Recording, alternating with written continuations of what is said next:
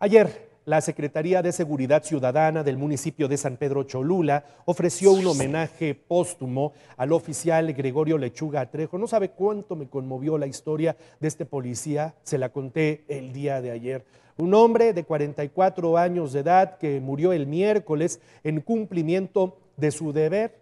De repente, los habitantes de una de las juntas auxiliares, Coachayotla, de San Pedro Cholula, llama porque hay un asaltante, llega el oficial presuroso a atender el tema, llega en su patrulla y el ladrón lo recibe a balazos. El policía se defiende y entonces también le dispara al ladrón, nada más que el oficial tiene heridas más considerables y aún así con esas heridas todavía le metió sus disparos al infeliz ladrón que todavía tuvo el cinismo de tomar la patrulla del oficial que ya estaba tendido en el suelo y llevarse la patrulla. No aguantó dos, tres cuadras y finalmente el ladrón también cayó, cayó muerto. El hospital, el, el oficial llegó con vida al hospital y ahí, ahí murió. Durante el homenaje, sus compañeros reconocieron su labor. ¿Sabe cuántos años tenía